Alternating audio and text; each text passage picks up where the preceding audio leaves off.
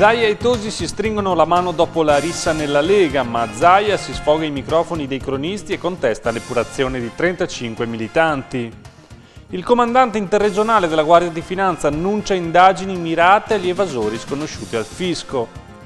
Torna nei nostri studi il giornalista Carlo Mion per le pagelle da dare ai personaggi della settimana. Ben ritrovati dalla redazione del TG di Televenezia. Stretta di mano fra Zaia e Tosi oggi a Venezia dopo la rissa nella Lega e lo scontro sulle 35 espulsioni decise dal segretario nazionale della Liga Veneto, ma subito dopo il governatore si è sfogato ai microfoni dei cronisti. È guerra aperta, senza esclusione di colpi in casa Lega e non rivela il vero grado di tensione che esiste nel partito del Carroccio, la stretta di mano messa in scena oggi per le telecamere tra Zaia e Tosi dopo le 35 espulsioni decise dal segretario nazionale della Liga Veneta e contestate dal governatore del Veneto. Zaia stamane a margine della cerimonia di avvicendamento del comandante interregionale della Guardia di Finanza a Palazzo Cacorner Mocenigo ha sfogato tutta la sua rabbia e difeso i 35 espulsi. 35 espulsi non sono assolutamente una, un coacervo di carregari perché la stragrande maggioranza non ha mai visto una poltrona in vita sua. Luca Zaia cerca di raccogliere i cocci di un partito che si sta distruggendo dopo l'esclusione di Santino Bozza e Giovanni Furlanetto e l'addio di Sandro Sandri e la rissa in cui è rimasto coinvolto ieri durante il Consiglio nazionale della Liga Veneta a 90 il veneziano Pizzolato che ha preso una sberla e ha subito un distacco della retina. Teorizzare un partito egemone ci sta, ma il partito egemone vuol dire che deve raggiungere il 51%. È impensabile pensare un partito col 51% dell'elettorato che non abbia un dissenso interno da gestire, perché la democrazia porta alla gestione delle diverse idee. Luca Zaia ha dichiarato di continuare a volere l'unità del partito e ha preso le distanze da Bossi. Per quanto riguarda Bossi è bene chiarire una cosa, che io non so cosa faccia Bossi, cosa voglia fare, non sono informato di questo, ma per quel che mi riguarda, qualunque cosa faccia, io sicuramente non sarei a seguirlo peggio ancora ad assecondare magari eventuali rotture della Lega. Inoltre il governatore del Veneto ha escluso che i bossiani costituiscano l'anima della Liga Veneta. Sono una minoranza, ha detto. Quindi in Veneto esistono i bossiani da un lato, si contano sulle dita da una mano, e dall'altro esistono invece due grandi correnti di pensiero che debbono trovare la loro sintesi e che nulla hanno a che vedere con cerchio magico, diamanti o robe del genere. Cambio al vertice della Guardia di Finanza del Comando dell'Italia nord-orientale. Il generale Flavio Zanini ha annunciato che le indagini contro l'evasione fiscale si focalizzeranno nelle zone oscure. Sentiamo. La Guardia di Finanza è, è, ha tanti anni di storia ha una tradizione diciamo, storica nel contrasto all'evasione fiscale e come diceva, ripeto ancora con piacere perché io collega di corso, il, il comandante generale eh, e ultimamente anche con, nel contrasto a quelle che sono le illegalità nel settore della spesa pubblica. E chi ha nel DNA questo modo di lavorare eh, eh, eh, punta eh, sempre più a perfezionare i meccanismi per contrastare quelle aree di evasione che sono pericolose non colpire i soliti ignoti, ma cercare di, di individuare, di eh, eliminare quelle zone grigie o nere di evasione. Arrestata per simulazione di reato, una donna di origini croate di 23 anni voleva coprire la perdita di una somma di denaro a causa del vizio del gioco. La ragazza ha chiamato i carabinieri del nucleo operativo e radiomobile di Mestre raccontando una rapina piuttosto cruenta, con l'aggressione da parte di due soggetti e la minaccia con un coltello. La donna ha esibito anche alcuni tagli superficiali agli avambracci. I rilievi tecnico-scientifici però hanno rivelato molte contraddizioni che hanno costretto la cittadina croata a confessare. Ed ora il bilancio della giornata ecologica a Mestre e a Venezia. Non sono mancate le polemiche dato che lo stop non ha riguardato le grandi navi. Sentiamo. Domenica ecologica tra stop dei motori e accese polemiche in laguna. Si è svolta così la giornata di ieri a Venezia, dove al Green Day promosso dal comune, che ha previsto lo stop della circolazione delle barche private in Canal Grande e Rio di Canareggio dalle 10 alle 15, si è aggiunta la polemica dei comitati no grandi navi. Mentre la polizia appioppava 14 multe per violazione del blocco della navigazione a motoscafi e barchetti a motore, sfilavano davanti a San Marco la Seven Seas Mariner con i suoi 3.000 ospiti e l'immensa MSC Fantasia, la più grande e pesante nave mai approdata a Venezia. Ad aspettarle la goletta verde di Lega Ambiente con una delegazione del comitato No Grandi Navi, che ha accolto le mastodontiche ospiti non gradite con striscioni e fischietti. Il blitz rumoroso ma pacifico è stato fermato dalla polizia intorno alle 18, mentre sventolavano ancora immensi striscioni di protesta sul campanile di San Giorgio e sulla gru del Palazzo Patriarcale della Salute. Il comitato ha scelto di manifestare ieri proprio perché nella domenica ecologica è stato concesso il passaggio alle grandi navi in laguna e alla protesta si sono aggiunti anche i comitati Ambiente Venezia e Venezia Bene Comune che esibivano manifesti in bacino San Marco mentre la fantasia oscurava il campanile di San Giorgio con i suoi 67 metri di altezza. Paura fra il personale della CTV contro l'azienda che ha annunciato una ristrutturazione in programma un altro sciopero. ACTV sempre più in rosso e la riorganizzazione annunciata dai vertici dell'azienda fa paura. Nuova mobilitazione dei dipendenti ACTV oggi in Piazzale Roma, contro i tagli al trasporto pubblico previsti dalla Regione e dopo l'annuncio della riorganizzazione aziendale da parte dell'assessore alla mobilità Ugo Bergamo e del presidente della società Marcello Panettoni. I dipendenti della ditta di trasporto hanno dato il via alla protesta stamattina in piazzale Roma, dove dopo la distribuzione di volantini hanno fatto firmare ai passanti cartoline contro i tagli previsti dalla Regione. Le firme raccolte verranno poi consegnate in Regione al termine della manifestazione regionale prevista per il 23 aprile, che partirà alle 9.30 dalla stazione ferroviaria Santa Lucia e che si concluderà proprio sotto il Palazzo regionale. Ma cosa teme il personale a CTV? I vertici dell'azienda, entro la fine dell'anno, hanno annunciato la riduzione delle spese del personale di circa 5,7 milioni di euro, pari al 4%, andando a bloccare il turnover dei dipendenti e tagliando del 50% i premi di produttività per i dirigenti.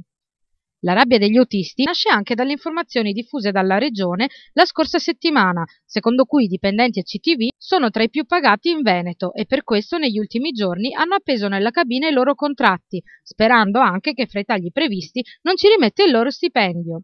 In tal caso, il personale a CTV è già pronto a nuove forme di proteste e a nuovi scioperi per difendere fino all'ultimo i posti di lavoro a rischio. La crisi dei nostri giorni morde di più di quella del 1929, con una sola eccezione, le famiglie spendono un po' di più. È emerso da una ricerca della CGA di Mestre. Peggio che durante la grande crisi del 29. Lo dice la CGA di Mestre, infatti, stando ai dati raccolti dall'associazione di categoria, gli effetti della crisi sono molto più pesanti rispetto a quelli registrati alla fine degli anni 30. Gli investimenti sono crollati al punto che sono calati quasi del doppio rispetto al 1929.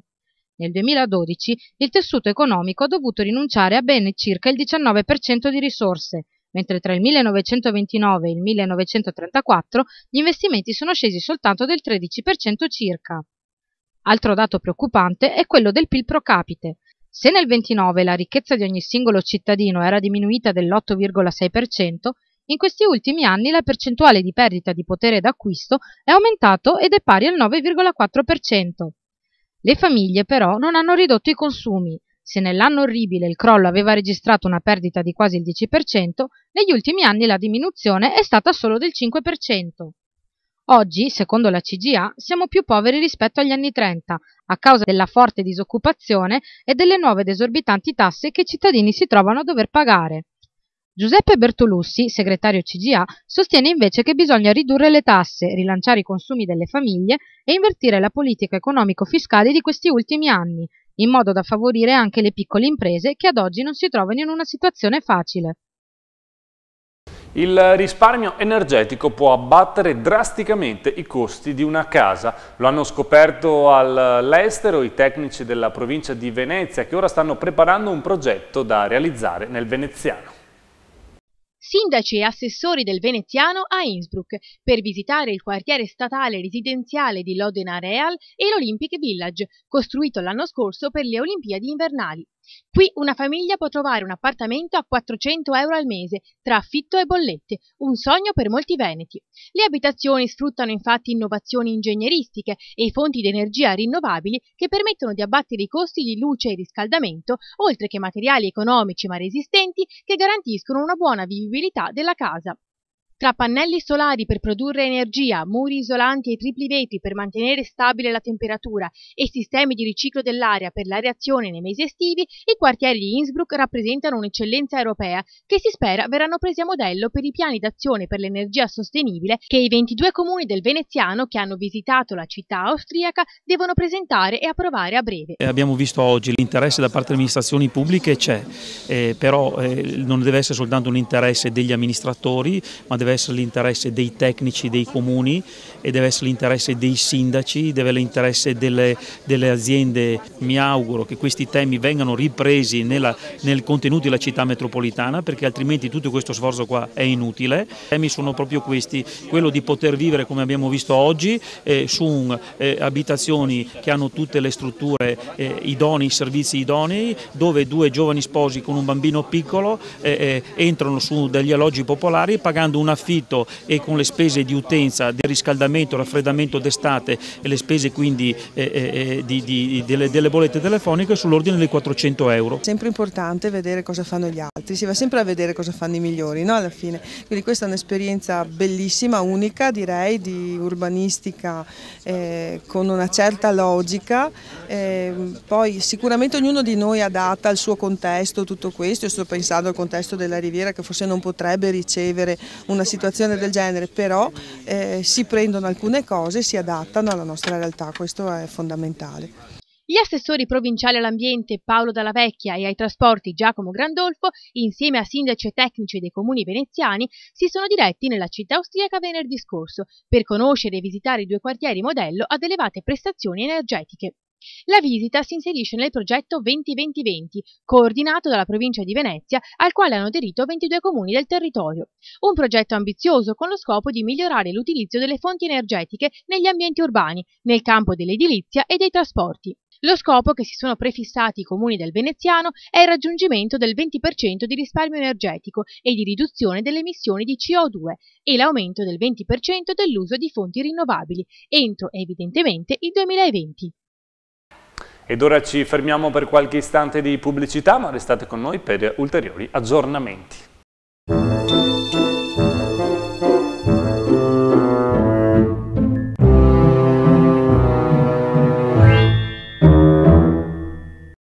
Franco Oro Più, il tuo oro, il tuo argento e il tuo platino pagati subito in contanti alla massima valutazione di mercato. Franco Oro Più lo trovi a Mestre, Marghera, Venezia, Jesolo e Caorle, a Trieste, a Belluno e a Schio. Entra nella filiale a te più vicina. Ed ora uno sguardo all'area metropolitana con notizie brevi dalle province di Venezia, Treviso e Padova. Fra le altre cose parleremo di fantasiose sponsorizzazioni e del forte aumento di reati contro il patrimonio. Troppa microcriminalità chioggia allarme della Confesercenti. L'associazione chiede in particolare l'installazione di sistemi di videosorveglianza antirapina per contrastare i sempre più frequenti furti notturni. Chiesta anche la convocazione urgente di un tavolo sulla sicurezza con comune e forze dell'ordine. Si chiama Adotta una rotatoria e a lanciarla è il comune di Noventa di Piave, visto che la manutenzione delle aree verdi all'interno delle rotonde costa non poco, il comune ricorre a sponsor privati. In cambio della cura del verde potranno esporre cartelli col proprio marchio, insomma quello che si dice ritorno di immagine. L'osi di gaggio premiata dalla Lipu per il numero record di nidificazioni, in particolare quelle del marangone minore, una specie a rischio di estinzione. Delle 2000 coppie censite in Italia, ben 215 stanno facendo il nido nell'oasi di gaggio. Nessun altro finora ha ottenuto un simile risultato, in aumento anche ai roni rossi e cinerini. Una gastronomia per cani e gatti sarà la prima in assoluto in Italia e si chiamerà Petit Chef. Aprirà a Treviso dopo l'estate. Gli amici a quattro zampe potranno godere di una bella cucina a vista che sfornerà alimenti freschi, bilanciati e sani. I cibi saranno venduti in monoporzioni a 10 euro al chilo per l'umido, 12 per le crocchette. Scuola bus più caro del 40%. Da settembre prossimo a Casale sul Sile l'abbonamento passerà da 150 a 210 euro. Una vera e propria stangata per gli alunni che frequentano l'istituto comprensivo. Dopo una decina d'anni con tariffe inalterate, ora la Giunta ha deciso di adeguare il costo del servizio. Il comune di Arcade istituisce un fondo di aiuto per pagare l'IMU. Si tratta di 12.000 euro che serviranno ad aiutare le famiglie che non ce la fanno a pagare l'imposta sulla casa. Il contributo massimo è di 200 euro a famiglia, un ulteriore aiuto è previsto per madri e padri separati e ragazze madri. I controlli serali su autobus e tram stanno dando buoni frutti. A Padova la presenza di verificatori e vigilanti a bordo dei mezzi ha visto crescere del 4% la vendita dei biglietti. I controlli serali, ovvero dopo le 20.30, sono iniziati circa un mese fa e piano piano si stanno estendendo a tutte le linee urbane. Niente zaini, quaderni e lavagna. La scuola del futuro è 2.0, come l'istituto professionale di Este gestito dai salesiani di Don Bosco. Il Manfredini è uno dei sei in Italia con aule wifi, tablet al posto dei libri, Dropbox invece dello zainetto, una Apple TV anziché l'ormai desueta lavagna e compiti a casa sull'iPad. Operazione trasparenza della Polizia Locale di Padova. Fino a sabato 20 aprile i telelaser per rilevare gli eccessi di velocità saranno posizionati in via D'Avanzo, via Durer, via Grassi, via Friburgo, via Messico, via Bembo, via Armistizio e via Po. Le postazioni saranno segnalate e presidiate da agenti in divisa. Ed ora il bilancio della terza tournée in Giappone del teatro La Fenice. A Nagoya e a Tokyo concerti con brani di Verdi, Rossini e Puccini e l'esecuzione dell'Otello Verdiano. Il sindaco di Venezia Giorgio Orsoni, andato al seguito della compagnia e degli orchestrali, ne ha parlato oggi a poche ore dal suo ritorno. Molto importante perché il Giappone ci ha accolto con grande entusiasmo. Eh, la nostra Fenice si è fatta valere con eh, grande professionalità, ha dimostrato tutta la capacità eh, di cui è, eh, va fiera, eh, sia dal punto di vista organizzativo ma anche e soprattutto dal punto di vista artistico. Eh, il direttore Chung ha avuto degli applausi straordinari ma devo dire tutta l'orchestra e tutti i cantanti. Eh, questo come dire, amore che i giapponesi hanno per Venezia, la Fenice, l'Italia ehm, ci dovrebbe spingere ad essere dire, orgogliosi del nostro Paese ma anche ad essere attivi nel eh, intessere rapporti con eh, quel Paese che ha una grande dinamicità e che è certamente pronto a sviluppare anche rapporti commerciali dei quali ci siamo pure occupati in questo periodo. Ed ora i voti alle notizie ai personaggi della settimana. Dare le pagelle, oggi è venuto a trovarci in studio Carlo Mion, cronista e non giornalista, come lui si definisce. Sentiamo. Eccoci in studio con la rubrica Le Pagelle, è tornato a trovarci Carlo Mion della Nuova Venezia, cronista di Nera ma insomma anche diciamo un tuttologo un po' come tutti i giornalisti. Senti Carlo, eh, le, la pagella di oggi, da chi cominciamo a dare voti? Innanzitutto buongiorno e buonasera, a seconda di quando vedrete questa trasmissione e precisiamo una cosa, non sono un tuttologo e non sono un giornalista ma un semplice cronista. ecco, no, perché... Bellissima questa cosa, cronista e giornalista, dai, potremmo eh. anche parlare delle differenze. Sì, eh, parlare di giornal... parliamoci addosso di, tra sì, ecco, giornalisti, ecco che è sempre molto simpatico, sì. o meglio antipatico. Comunque, allora, tornando ai fatti di cronaca, naturalmente non possiamo dimenticare e non possiamo far finta di niente di cosa è successo nel fine settimana in Casa Lega. Dico questo perché il Veneto comunque è caratterizzato da questo partito che rimane un partito locale ma che insomma, negli ultimi periodi ha dato uno spettacolo poco edificante. Diciamo questo, eh, io sono convinto che hanno bisogno, e come partito, loro hanno bisogno, e naturalmente come partito ha bisogno di una rifondazione, tra virgolette, perché, perché gli scandali che messi in luce l'anno scorso hanno minato la credibilità di un partito che aveva fatto dell'essere differente dagli altri il cavallo di battaglia, diciamo un DNA. Cioè dell'onestà, diciamo, L'onestà, no? ma gli intrighi di palazzo di Roma e poi abbiamo scoperto di tutto, di più, dai diamanti, eh, da, da, dai soldi usati per fare il pieno di, di, di benzina al figlio di Bossi, dall'università chissà dove, lauree acquistate chissà dove. Diciamo, hanno fatto tutto quello che in vent'anni avevamo visto fare agli altri, per cui chiaramente diciamo che la strada per, eh, in, eh, iniziata adesso con Maroni, con Tosi e via dicendo, è inevitabile. Ecco, quindi tu dai un bel voto, diciamo, in questo momento a Tosi e Maroni che, stanno, che hanno... Es,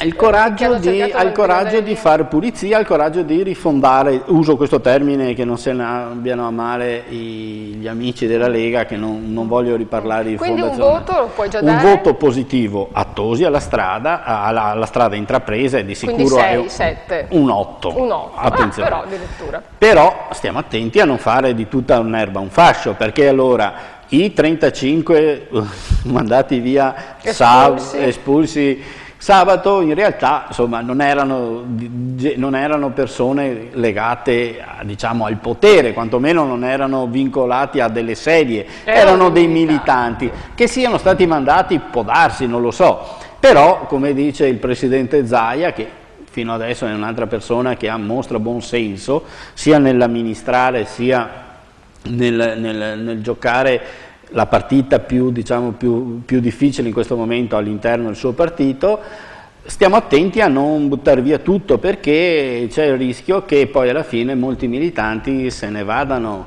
eh, e molti militanti perdano diciamo, la fiducia in chi vuole fare veramente pulizia all'interno Quindi un altro bel voto anche a Zaia allora? E dico che positivo anche Zaia perché Zaia poteva quantomeno quel seguito che ha anche alzare un po' la voce nei confronti di Tosi, nei confronti di Maroni, però capisce bene anche lui che per il bene del partito che lo ha portato ad essere presidente della regione non bisogna eh, fare le guerre bisogna piuttosto cercare di essere accondiscendenti con certe posizioni e di, la mediazione prima di tutto. Quindi un voto alla mediazione, insomma, però insomma è un po' contraddittorio, un bel voto a chi rompe e un bel Ma voto anche a chi media. Attenzione, no? eh, non è che chi rompe, cioè boss, eh, il buon Maroni e Tosi non è che sta rompendo, stanno cercando di risistemare una situazione per fare chiarezza su dei comportamenti che in realtà non, non sono edificanti.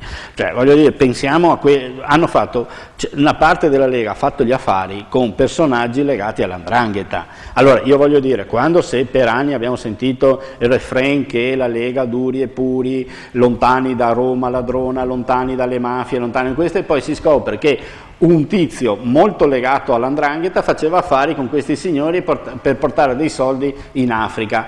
Beh, insomma, penso che Maroni abbia da che lavorare là dentro, sì, certo, per cui... C'è però il rischio di buttare via il, il bambino con l'acqua sì, sporca, appunto, no? allora, questo è il punto. va un voto positivo a Zaia che cerca di non, che non succeda questo, non soprattutto succeda in questo. Veneto, dove forse c'è stato meno diciamo, connivenza con questi sistemi che si sono, sono visti a Roma o a Milano.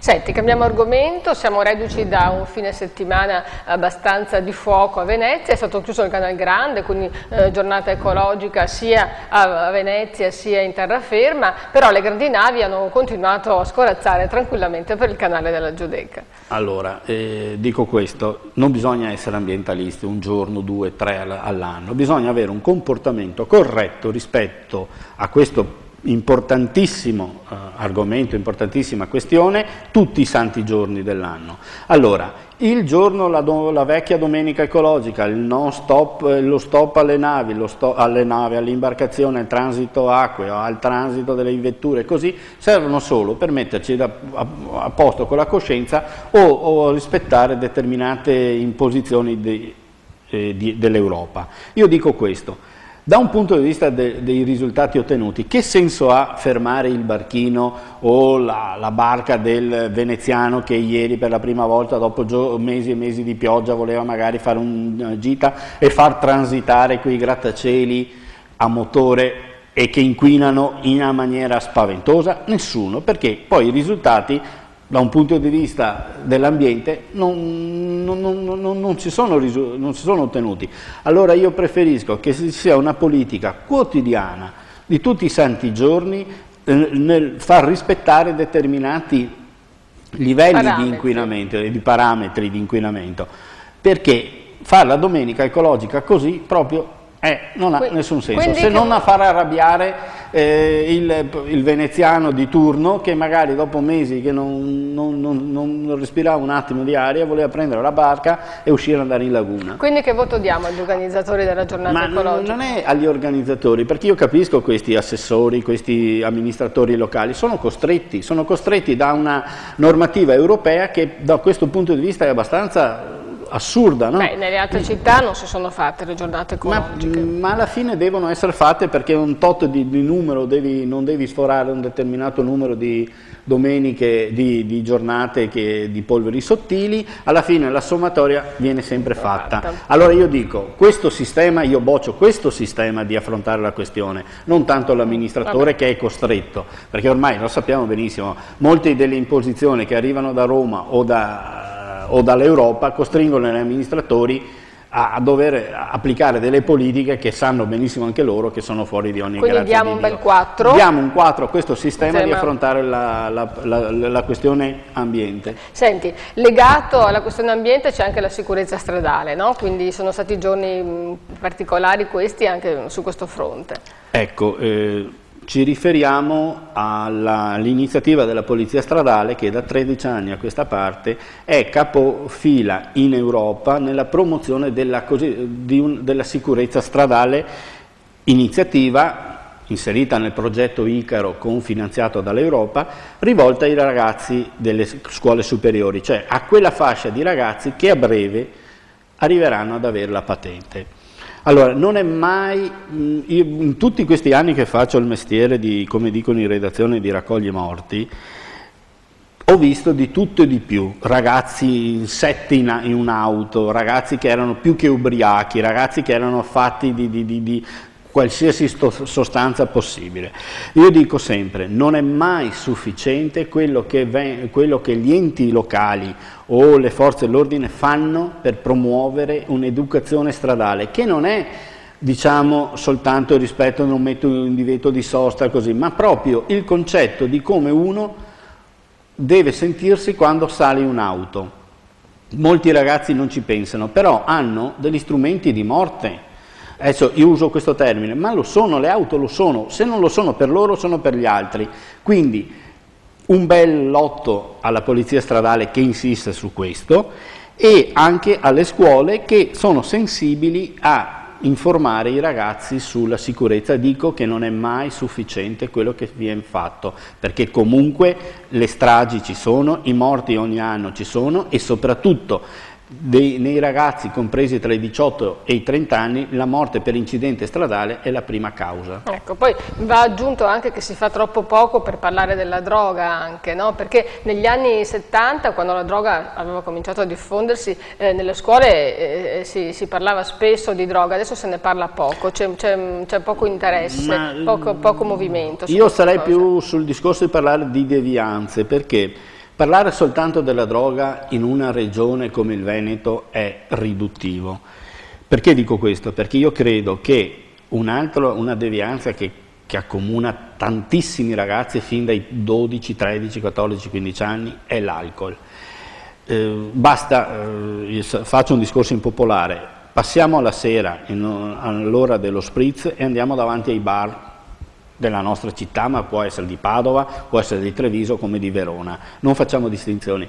Bene, vedremo lì davanti come inizia il ragazzo a rovinarsi, perché non è possibile, e lo sappiamo, che ragazzini di 14 anni possano bere lo spritz. È illegale, nessuno se ne accorge, diciamo, facciamo sì, così, però, però, è anche una devianza che cresce qui dentro, sì. perché diventa normale poi lo sballo la sera.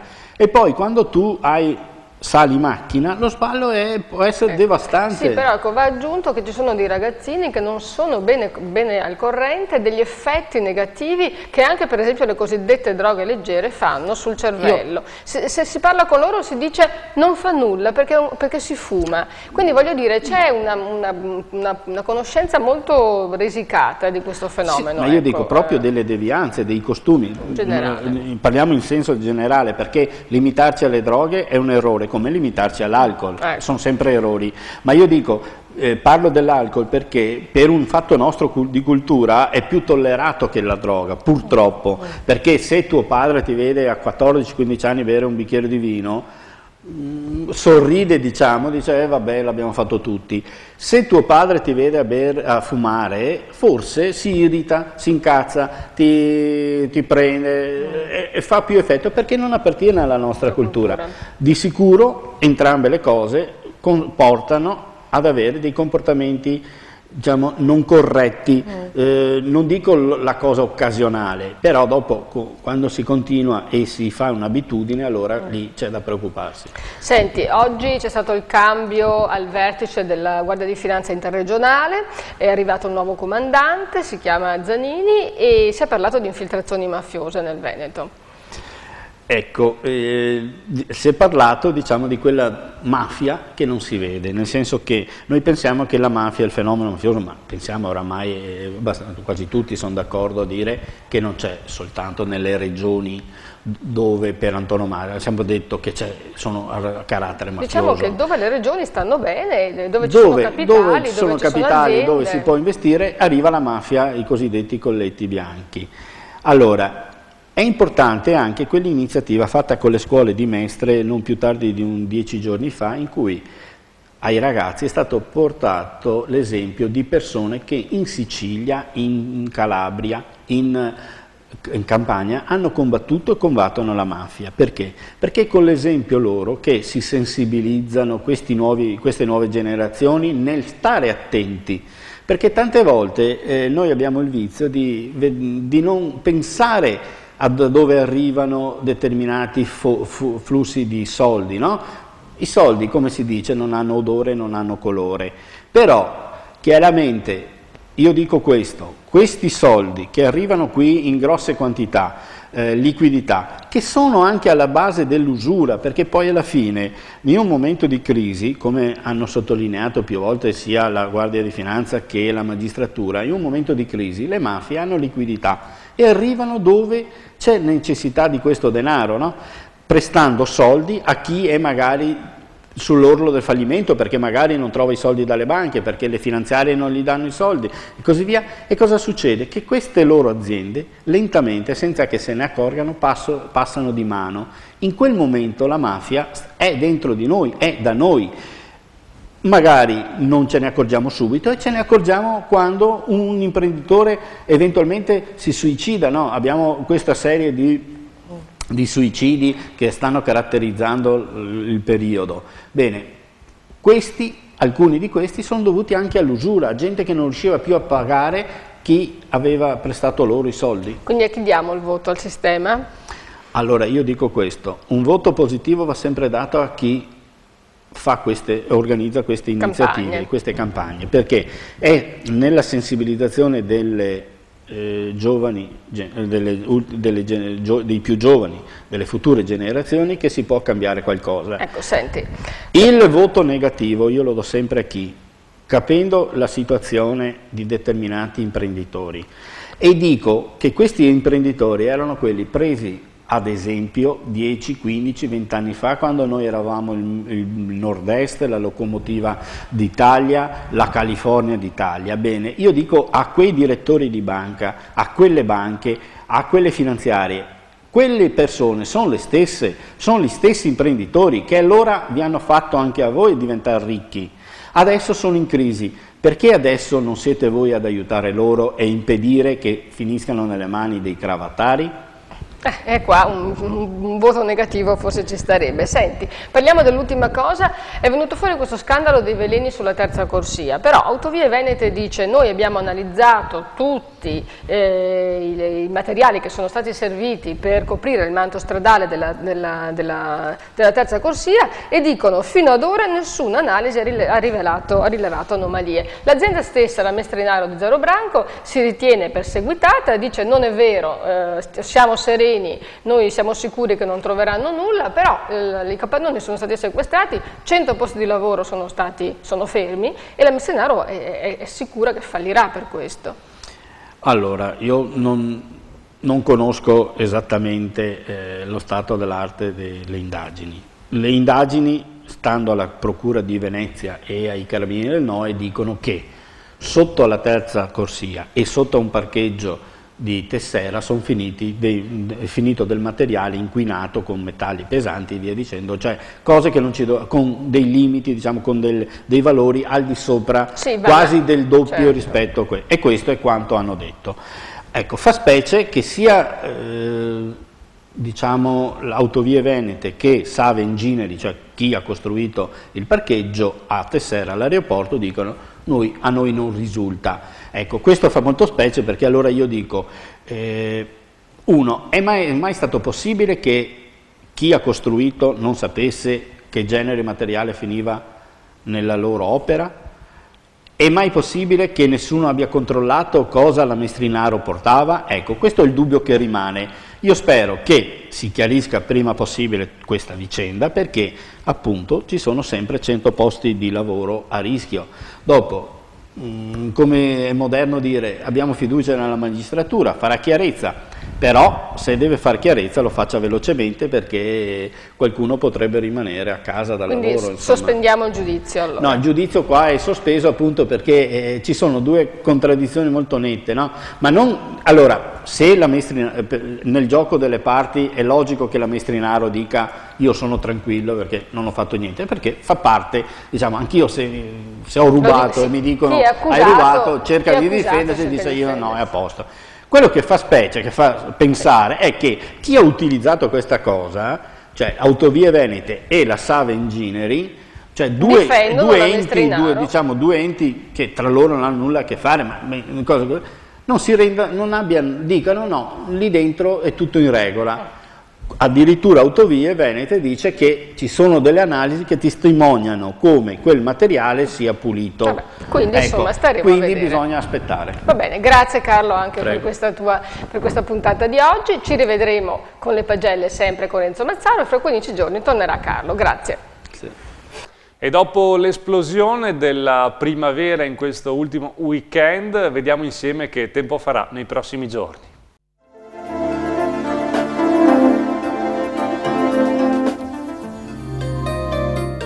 Sole e caldo fino a venerdì con temperature sopra la media stagionale. Martedì 16 aprile, parzialmente soleggiato con banchi di nebbia al mattino, valori in lieve calo, mare quasi calmo.